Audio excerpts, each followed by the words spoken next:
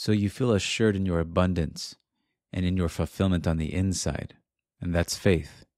For faith is the assurance of things hoped for, the things unseen. So this is testing faith. And when it works through testing, you will then practice this divine gift called faith. Then you will walk by faith and not by sight.